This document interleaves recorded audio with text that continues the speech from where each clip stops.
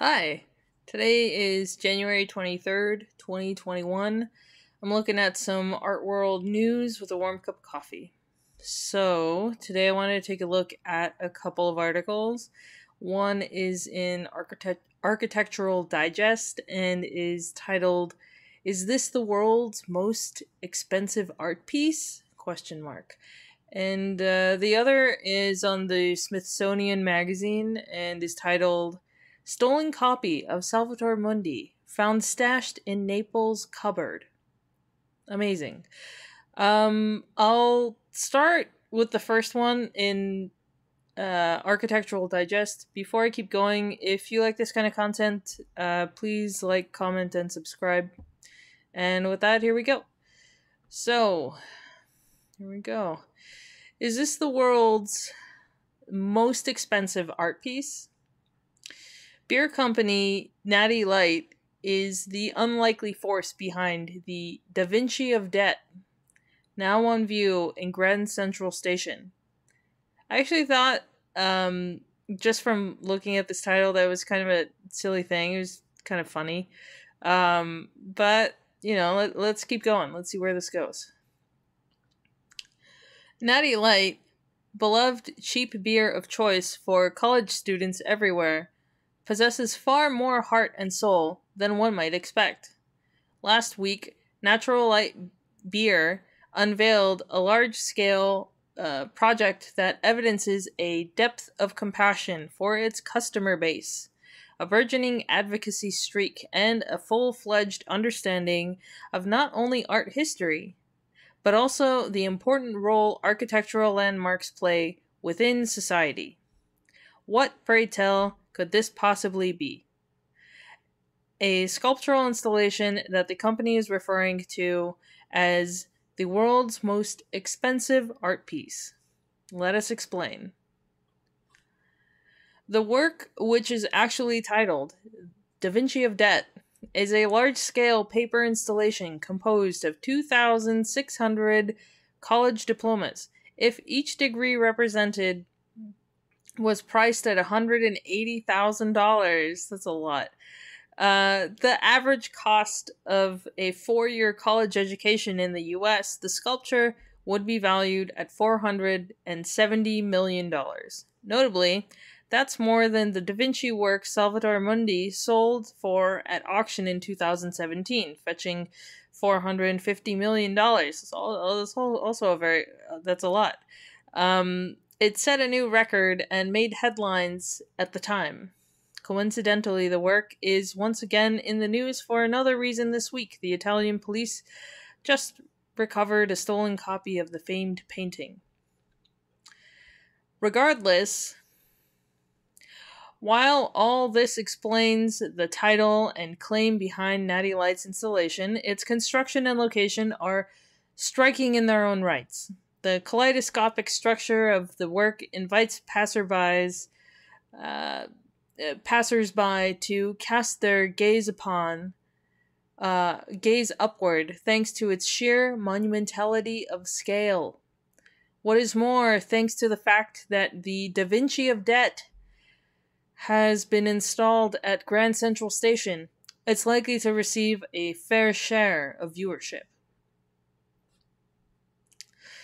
Art fans not currently based in New York City can still see the work thanks to an online interactive feature.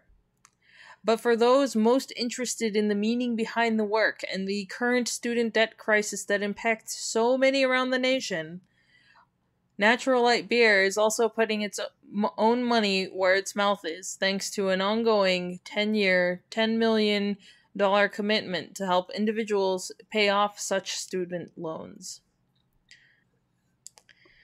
Again, I thought this was kind of funny. Um, it's like a funny little article. I I don't take this work seriously um, because it kind of it kind of feels like a one liner to me. Um, so here's an image of the uh, of the of of the piece. Um, the intent, I'm sure, is good. Um, I have no, you know, real questions about the intent um, of it, but to me, it just it lacks depth. Um, even though the representation of it is supposed to be impactful because of a commonly acknowledged social issue, it doesn't really feel like it has much substance. I mean, it just is a reminder. This is my personal opinion. You don't have to agree with me on this. Um, but I mean, we could we could easily try to ask questions about mass indoctrination, especially for the millenn- millennial generation, the almost corporatization of large learning institutions or to try to look into the effects of fiscal and monetary policies that could have enabled um, the growth in the cost of the of education in the United States to just to, you know try and dive into a deeper position that leads to this sort of situation. That that is to say this is a topic that could take in information from a lot of different avenues.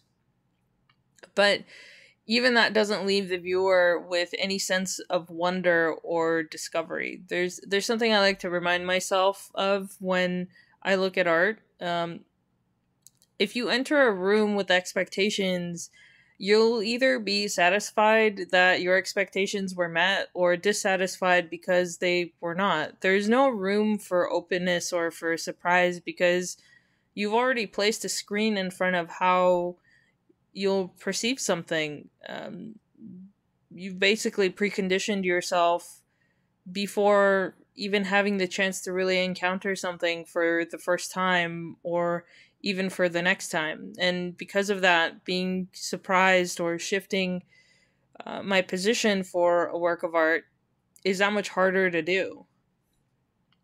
Um, and in that sense, I, I feel that the content of the work carries preconditions that position how I might perceive the work um, without leaving much room for things to unravel.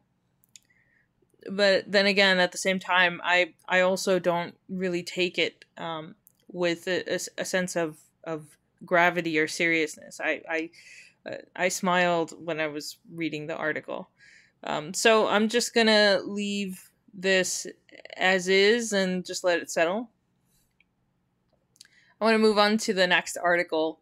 It's titled The Stolen Copy of Salvador Mundi Found Stashed in Naples Cupboard. The museum that owns the 16th century painting hadn't even realized the work was missing. Oh boy. so this is uh just an image. It's a take a look at it. Um, let's take a look at this article. So it says uh, last Saturday, Italian police found a 500 year old copy of Leonardo da Vinci's Salvator Mundi hidden inside a bedroom cupboard in Naples. uh, as first reported by ANSA, investigators recovered the work from the apartment of a not to be named 36 year old who was promptly arrested on su- suspicion of possessing stolen goods. Interestingly, the museum's staff hadn't even realized the artwork was missing. Due to the current health crisis, the uh, room where the painting is kept had not been open for three months. Uh, authorities found no signs of a break in, making it unclear exactly when and how the religious scene was stolen um, whoever took the painting wanted it, and it's plausible plausible that it was a commissioned theft by an organization working in the international art trade. You pr- probably make like a video game or a, a movie about this because it, it sounds so funny. Um, according to the Associated Press, Naples police arrested the apartment owner after he shared a quote less than credible story of quote casually purchasing the painting at a flea market. The stolen Salvator Mundi is one of around 20 surviving copies attributed to Leonardo's uh, followers. Like the original, the painting depicts Christ with corkscrew curls. He holds a crystal orb in one hand and raises the other in a blessing. In 2017, Leonardo's Salvator Mundi sold at auction for a record breaking $450 million, despite doubts regarding its authenticity. One of just 20 or so paintings widely attributed to the artist, the work was supposed to go on view at the Louvre, Abu Dhabi, in September 2018, but the museum unexpectedly canceled the unveiling and the painting hadn't been seen in public since. Speaking with the Associated Press, Police Chief Alfredo Fabbrocini uh, says the discovery was rewarding, quote, because we resolved a case before it was created, end quote. He adds, the painting was found, but its custodian hadn't realized it was stolen.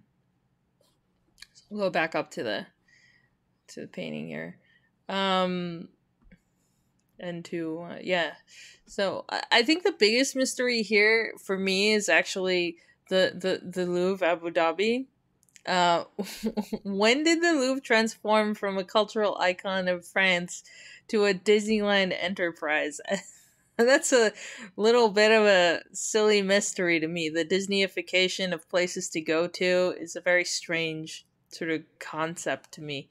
Um, also, I mean, investigators of the scene couldn't find any clues or indications of what happened at all. Like, why would the apartment owner share that you that he purchased the painting at a flea market? And also, why did he stash it in a bedroom cupboard if you if if if i if you stole an item with a multi-million dollar price um and knew that would that really be the best decision one would make to hide or take care of an item uh, also, if if no one knew who was in possession of the painting, why would someone with the intent of stealing and keeping the painting come forward and say that they have it in their possession in the first place?